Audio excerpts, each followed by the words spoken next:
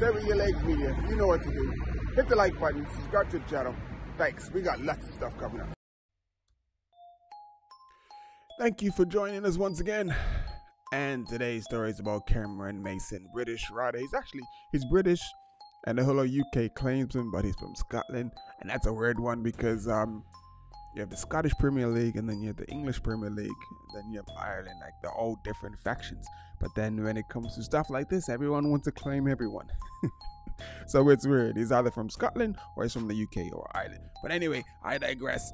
Thank you for joining us. Remember to hit the like button, subscribe to the channel, and uh, we're gonna get into this. I mean, I'm gonna read the story, but I really don't even need to read the story about Cameron Mason because I know most of his info, but it's probably a few details I don't know. So I'm gonna read the story and scan through it and see what's up. But before we get into the story with Cameron Mason, we just got to do one thing really, really quickly, really, really quickly.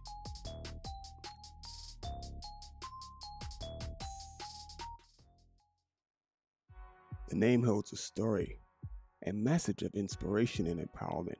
As a child, I constantly faced the need to prove myself, no matter which sport I pursued. But then I discovered cycling. It became my answer to skeptic my abilities. More than just freedom, cycling became my pursuit of justice in the face of those who wish me to fail. So when you encounter seemingly insurmountable obstacles, remember, just say it with your legs. With every paddle, you can conquer anything one step at a time. And that's why you need to buy this brand. To embrace the journey, empower yourself, and achieve greatness.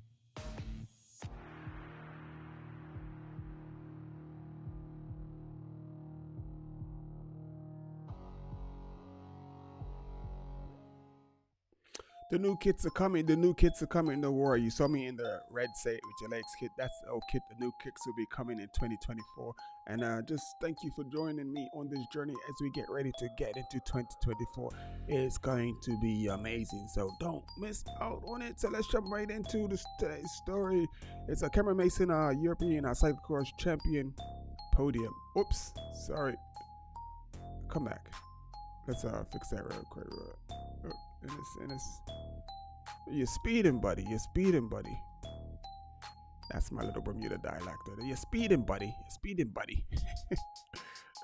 so what does the Bermuda sound like? Like that. But anyway, Cameron Mason, uh, European cyclocross champion. Podium feels amazing. So if you didn't see it this weekend at the European Championships, he got onto the podium. He uh, he came within an earshot of uh, challenging for the gold, but he was able to hold on to second. And uh, so we had a Belgium on the top of the podium, uh, Britain in second with the silver medal with uh, Cameron Mace, Cameron Mason, and in third place was uh, Lars van der Haar on um, from the Netherlands. So that was pretty amazing. That was pretty amazing feat because those two countries, aside from uh, the British, usually lock out the podium. You know, because uh, Belgium and the Netherlands or the Dutch, they just they just dominate cyclocross. So let's get into his story. Let's see what it says.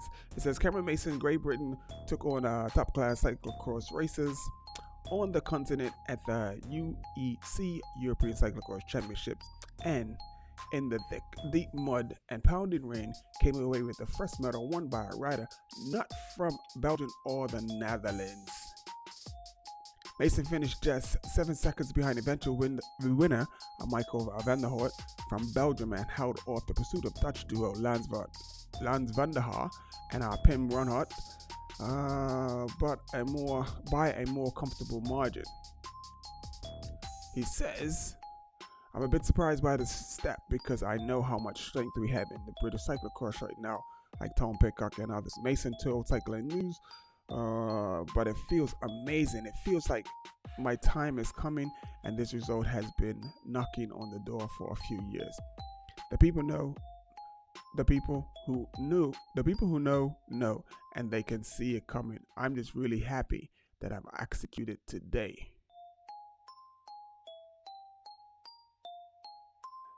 So goes into Mason's fourth place, and it's just talking about last week, what which is what I was gonna was going to touch on. Mason's fourth place in the Koppenberg Cross on the on the top uh, uh, on the top ten stones of Overijse. Oh, oh, Mason's fourth place in Koppenberg Cross, and then top ten in Overijse, and uh, Meshlam in the World Cup. And last year's world champion showed he was just pointed in the right direction, and thanks to the UCI points provided at the convenient second, provided a convenient second row start. In the race, it was messy. It was quite hard to uh, put together good laps after the first lap. I started to do that. I was settling in the pace and riding my own race. That happened to be uh, faster than the than the whole of the chase group. That was good because it meant I could focus on myself. I didn't really want to be battling in, in the into the corners and all of that. That made a difference. This was just about managing it and holding it all the way to the end. The win wasn't very far away. Michael was in control, but it's also cool to know he's just there and it's and uh, no, he's just there and that's the jersey. But for now, I'm just super happy with my silver. The British champion expanded on the comments in his post for his press conference saying that the course conditions turned out to be perfect for his skills. When I looked at it on Friday, I thought it might be a bit too punchy for me, but but every time it rained more, I was like, yeah, that's good for me. Just to bring the speeds down a little bit from 25 to uh, 20 kilometers, that suits me a lot, lot more. Uh, if the, the climbs are more in the saddle with the deeper power. So you saw how technical it was out there, and the riders who made the least mistakes really it suited them. The medal represents another British presence at the top of the elite cyclocross, along with uh, those of former world champion Tom Pidcock, a pioneer woman like uh, Helen Wyman, and the winner of today's under 23, uh, Zoe Bäckstedt. He says Pidcock has been a role model for Mason for and a former team, teammate. I'm actually I've actually looked up to him throughout my whole career. He is a trendsetter. It is so important to have people from your country like that to push you to push the sport on.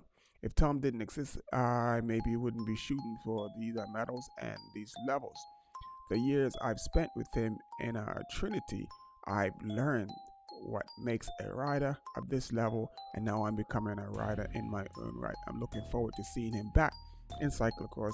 It'll be good fun. So that's a story about Tom. Uh, oops, sorry. Let's uh, put that back real quick. There we go.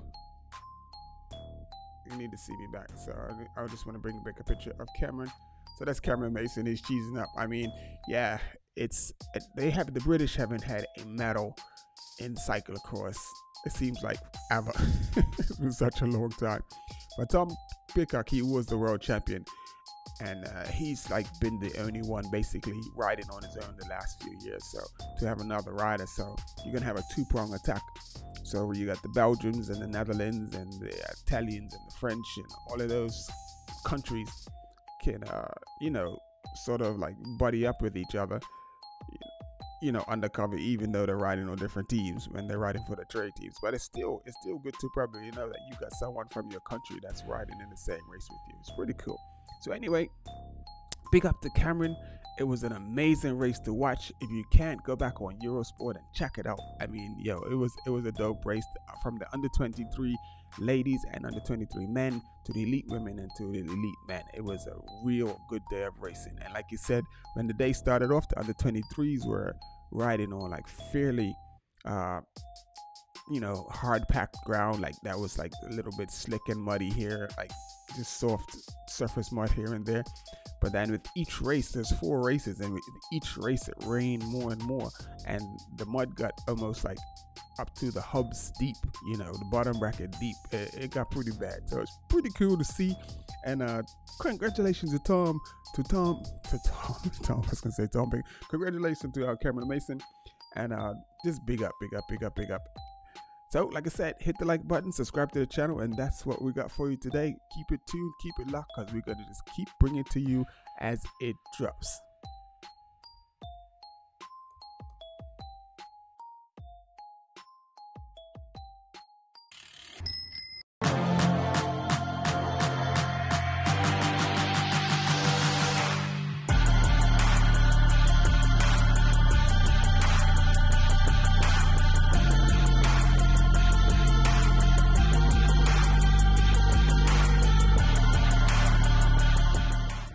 Legs Media. You know what to do. Hit the like button, subscribe to the channel, Thanks. We got lots of stuff coming up.